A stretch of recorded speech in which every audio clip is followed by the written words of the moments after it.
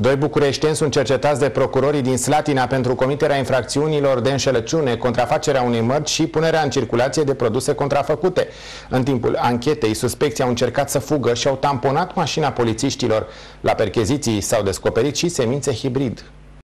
Potrivit anchetatorilor, cei doi suspecți din București au încercat să înșele o persoană din Olt. Suspecții au indus-o în eroare o persoană din orașul Scornicești, județul Olt, căreia i-au vândut semințe hibrid contrafăcute purtând denumirea unor mărci înregistrate, se arată într-un comunicat al parchetului de pe lângă judecătoria Slatina. Suspecții depistați în București au lovit de mai multe ori mașina polițiștilor din Olt care îi căutau în încercarea de a scăpa. Cu ocazia activităților desfășurate pentru identificarea autorilor, ofițerii din cadrul IPJ Olt s-au deplasat în municipiul municipiul București, unde, în încercarea de a-i prinde pe suspecții, aceștia din urmă au tamponat în mod repetat autoturismul organelor de poliție, producând suferințe fizice acestora și avariere autoturismului, se mai arată în document. De asemenea, anchetatorii au deșins la 5 adrese ale suspecțiilor fiind descoperită o fabrică clandestină de produs și împachetat semințe hibrid, produse fitosanitare contrafăcute, precum și 253 de saci cu semințe hibride contrafăcute.